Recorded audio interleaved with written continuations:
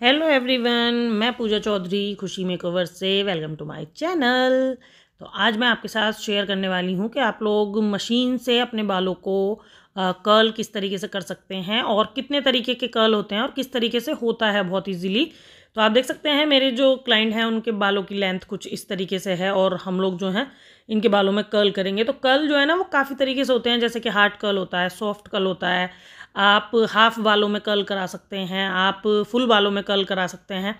तो इस तरीके से ना काफ़ी तरीके से कर्ल किए जाते हैं और जो मशीन यूज़ होती हैं, वो ज़्यादातर जो कर्ल मशीन होती हैं, वो काफ़ी ईजीली मार्केट में मिल जाती हैं। बहुत लोग मुझसे आप पूछते हो कि ये मशीन कहाँ मिलेंगी? तो देखिए, मैं ऑनलाइन का लिंक इनका नहीं दे सकती आप लोगों को, क्योंकि ऑनलाइन मैंने कभी ख़रीदी भी नहीं है अपने पार्लर के लिए भी।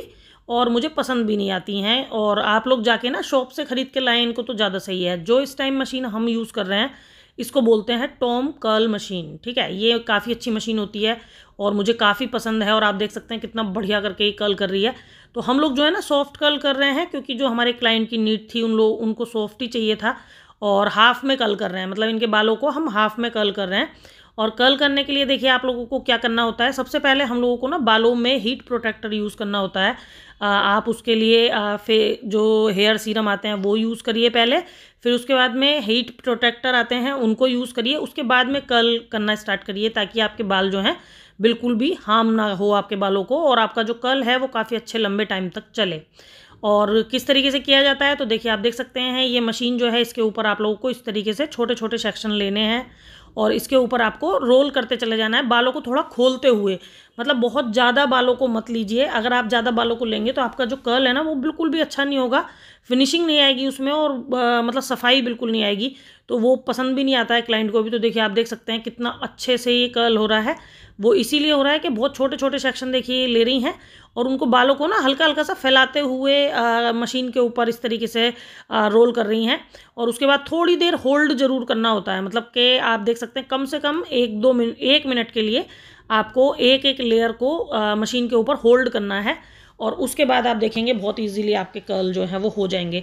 मेरे चैनल पर बहुत सारी वीडियो अवेलेबल हैं, बहुत अच्छी अच्छी वीडियो अवेलेबल हैं, चाहे वो हेयर केयर की हों, चाहे वो स्किन केयर की हों, चाहे ब्राइडल मेकअप हो, चाहे ब्राइडल हेयर स्टाइल हो, और ज़्यादातर वही काम मैं आपके साथ शेयर करती हूँ, जो मेरे पार्लर पर क्लाइंट कराते हैं। मतलब मेरे रियल कस्टमर जितने भी आते हैं वो लोग जो काम कराते हैं, मैं ज़्यादातर वही आप लोगों के साथ में शेयर करती हूँ।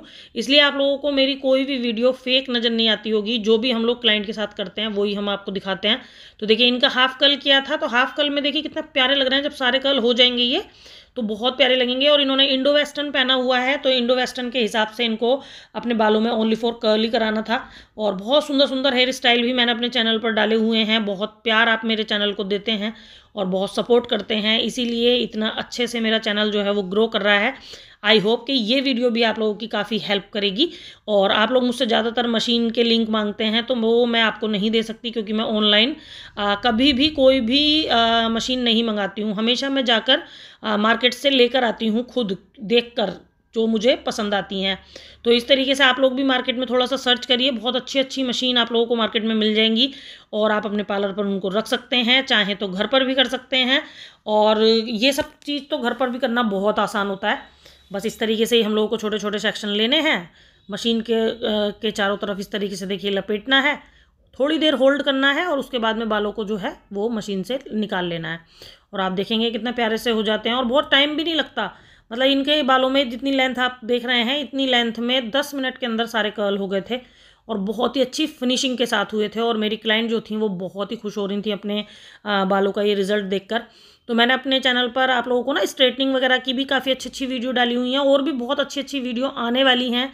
काफ़ी कुछ आप लोगों के लिए मैंने शूट करके रखा हुआ है क्योंकि इस टाइम वेडिंग सीज़न चल रहा है और थोड़ा वीडियो लेट हो रही हैं, उसके लिए भी प्लीज़ सॉरी और क्योंकि इस टाइम ना वेडिंग सीज़न चल रहा है तो उसकी वजह से ना टाइम से आपको वीडियो नहीं मिल पा रही हैं। आई होप कि आप लोगों को ये वीडियो पसंद आई होगी, आप लोगों को रिज़ल्ट अच्छा लगा होगा, जो हमने काम आपको कर कर दिखाया। आई होप कि ये वीडियो आपको पसंद आई होगी। तो चलिए मिलते हैं नेक्स्ट वीडियो में। बताइएगा ज़रूर वीडियो कैसी लगी। चैनल को सब्सक्राइब वीडियो को लाइक एंड शेयर करना ना भूलें। Bye bye